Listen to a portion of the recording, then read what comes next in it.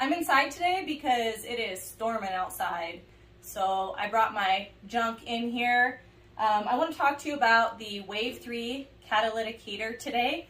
Um, this is a really cool little heater. I originally got it because at the time I was camping out of my topper in my pickup and I wanted something that was going to heat the back of the pickup up. This was way too much. It was way too much. This little sucker heats about 130 square foot and it does. Last winter the power went out. I hooked this deal up, set it in my kitchen, closed off the doorways and this thing was perfect for that blackout. It was awesome. Um, you do need to have some good airflow. Um, it's a 3000 BTU catalytic heater. It weighs just a little bit over nine pounds. Um, it heats up to 130 square foot, already told you that, um, with radiant heat.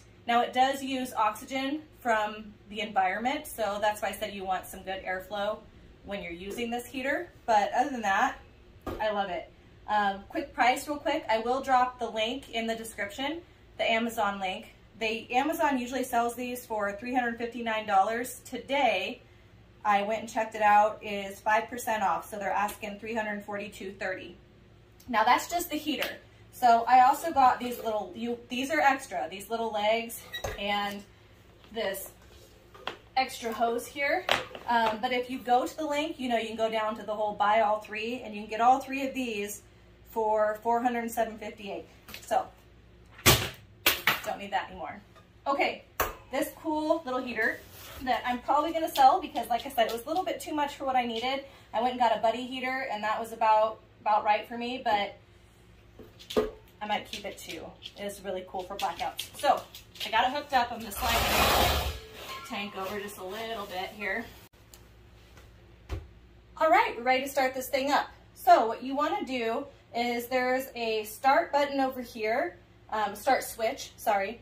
It has start and off. It has low and high. And then this little red deal right here is going to be your ignition button. So what you gotta do first is push, make sure that it's on start, make sure this is on start, make sure that your gas is on, and you're going to push this in and hold for 10 seconds to make sure that the gas goes through the line. So one Mississippi, two Mississippi. Do you guys count Mississippi?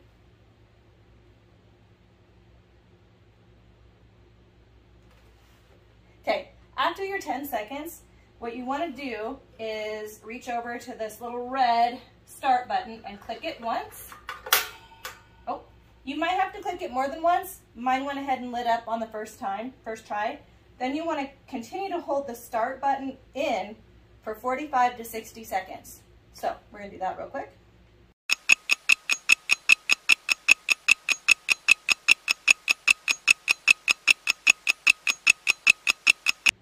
Okay, after your 45 to 60 seconds, you wanna turn the start button to high. Not low, high. So go ahead and do that real quick.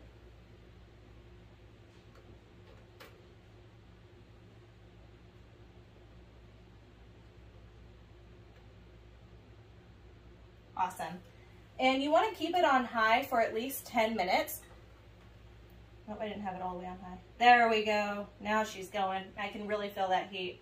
I don't know if you guys can see in the video, but it's starting to get pretty red and, and starting to glow. You want to keep it on high for 10 minutes, and then you can set it to low, medium, wherever you need it. This little deal is an awesome heater. I love it. I mean, the heat is, I can feel it clear out here, and it's just getting started.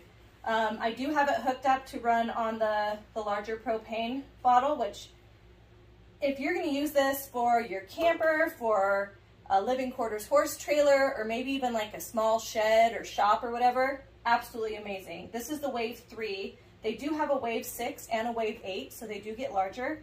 Um, I have nothing bad to say about this little heater. It's really cool. It also comes with, it, it does not come with, sorry. You can also order an additional dust cover for it. Um, and when you're done, you just go ahead and flip it to off, turn your propane off, and she's ready to light the next time.